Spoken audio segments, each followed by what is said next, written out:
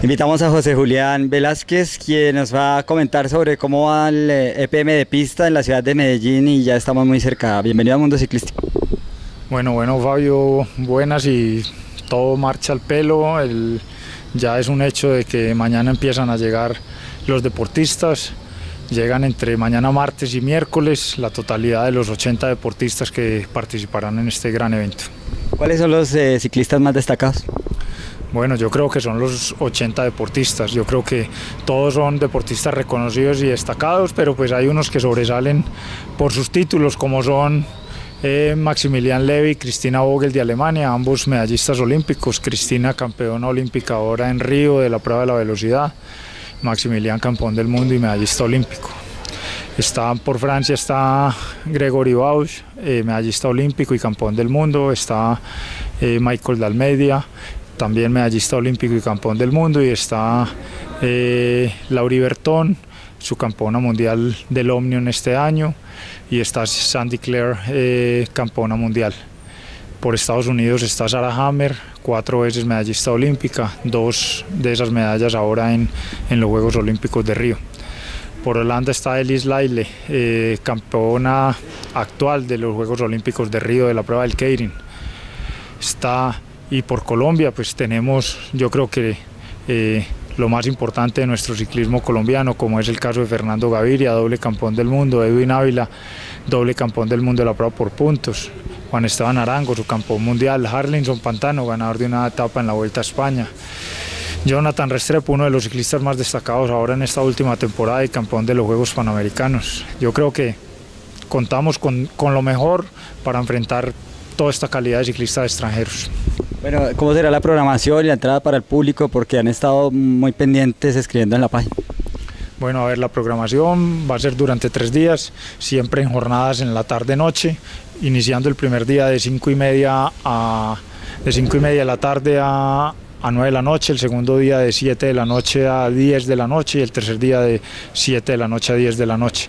Las boletas se consiguen a través de Ticket Express. Ticket Express también va a poner un punto de venta en el velódromo al lado del Inder eh, para conseguir las boletas y los precios son demasiado asequibles, son 50 mil pesos por los tres días, o sea, el abono de los tres días vale 50 mil pesos. Si se compra individualmente vale 20 mil y los niños pagan 10 mil pesos. ¿Cuál es el objetivo del evento?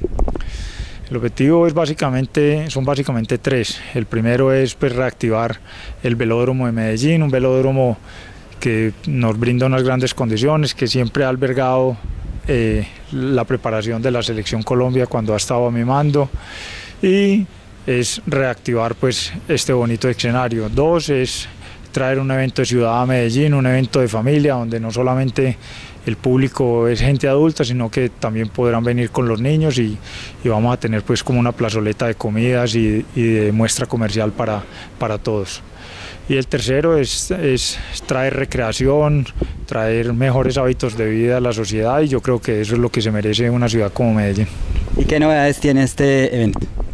Bueno, las novedades es que vamos a tener un juego de luces eh, muy bonito durante el evento que van a perseguir los ciclistas, van a, vamos a tener eh, un VIP para 180 personas. Eh, pero pues básicamente la novedad son los, los, deportistas. Aquí realmente lo que nos interesa a todos nosotros es que, es que los deportistas son de alta calidad y se van a emplear al máximo para, para dar un bonito espectáculo. ¿Qué pruebas eh, nuevas habrá en la pista? Bueno, las pruebas básicamente son las tradicionales, para los velocistas son el keirin, la velocidad, eh, la, velocidad por equipos, eh, va, va, a haber una prueba novedosa para los ciclistas que se llama equilibrio, la cual los ciclistas tendrán que hacer equilibrio durante un tiempo determinado que solamente lo, lo conocerá el, el, juez árbitro o el comisario y ahí tendrán una vuelta para, para llegar a la meta.